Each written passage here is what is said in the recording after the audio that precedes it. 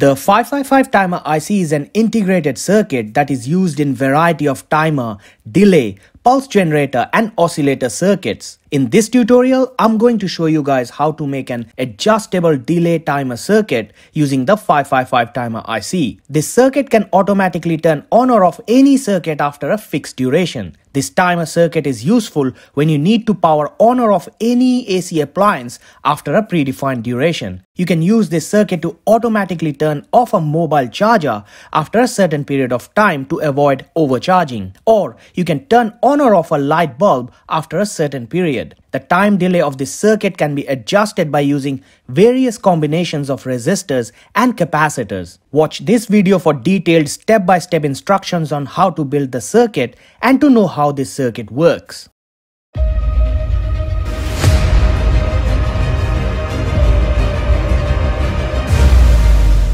This video is sponsored by PCBWay. PCBWay specializes in manufacturing of very high quality, low volume colored PCBs at a very budgetary price. In addition to standard PCBs, you can also order advanced PCBs, aluminum PCBs, rigid flex PCBs. They also provide PCB assembly and other related services which can meet your need to the greatest extent. PCBWay is currently running its sixth project design contest. There are lots of exciting prizes to be won. You can either submit an electronics or a mechanical project to take part in the contest. I can clearly see that a lot of enthusiasts have already submitted their amazing projects in the contest. So what are you waiting for? Go ahead and click the link in the description below and amaze us with your innovation.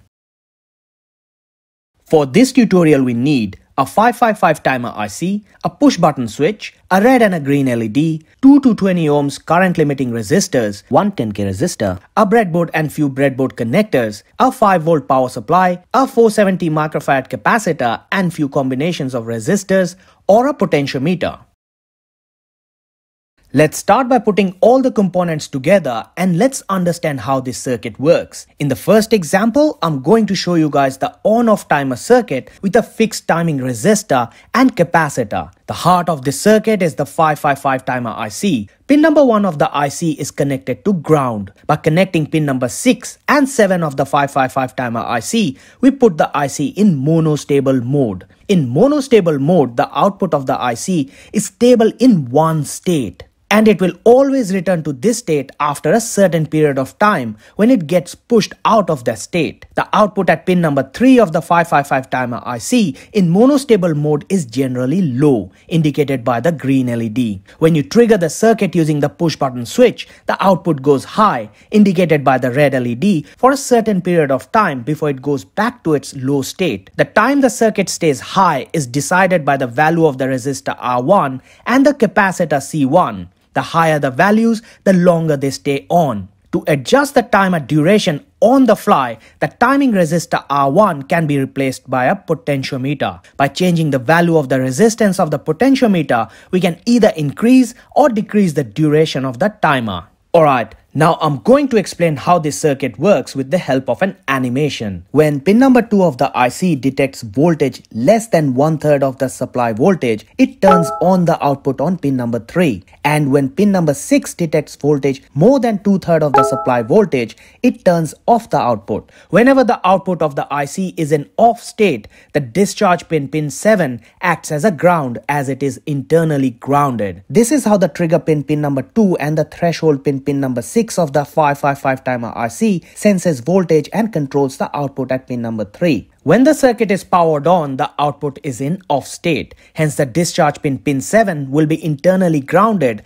discharging the capacitor. Pressing the push button switch activates the delay timer and the following sequence starts. Trigger pin pin 2 gets grounded. Since the applied voltage at pin 2 is less than one third of the supply voltage, the output pin pin 3 turns on. And at the same time, the discharge pin pin 7 disconnects internally from 0 volt. This causes the capacitor to charge via the resistor or the potentiometer. Now the voltage across pin 6 starts increasing. As soon as the capacitor charges to two-thirds of the supply voltage, pin 6 turns off the output. When the output turns off, pin 7 gets internally grounded, discharging the capacitor. The above steps are repeated each time you push the push button switch. The time period for which the capacitor charges from 0 volt to two-thirds of the supply voltage is the delay time.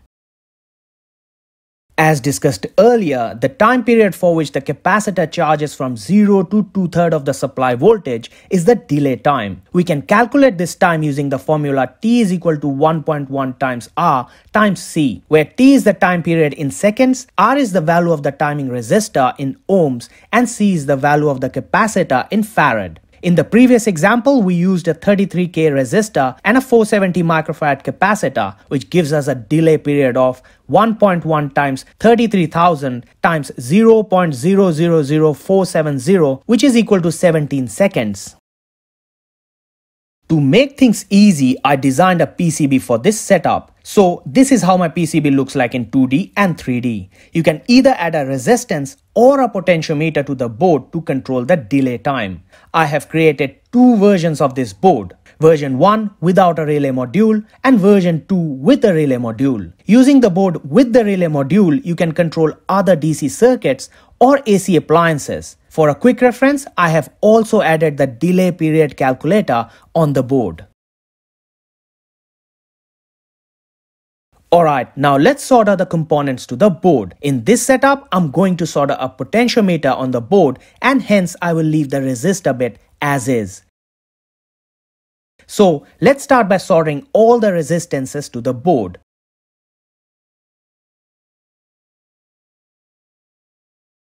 Then let's solder the LED to the board followed by the push button switch. After that, let's solder the IC base and the capacitor to the board. As discussed earlier, instead of the resistor, I'm soldering a potentiometer to the board. To finalize the setup, I'm soldering few male pin headers to the board. That's it, all done. The second version of the board with the relay module looks like this.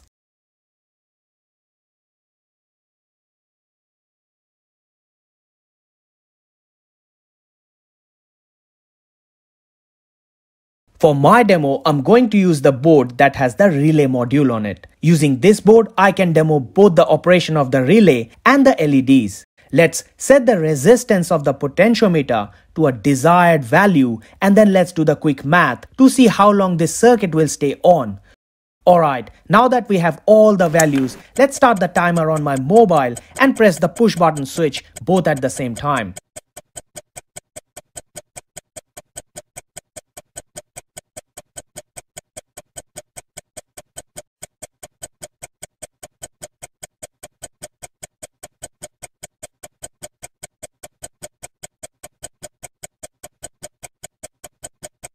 Bingo! Mission accomplished. You can use the relay in either normally closed or normally open state in your project.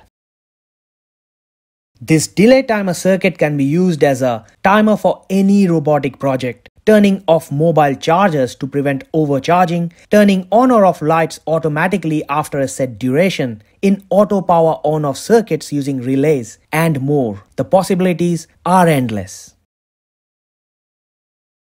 Thanks again for watching this video. I hope it helps you. If you want to support me, you can subscribe to my channel and watch my other videos. Thanks. See you again in my next video. Bye now.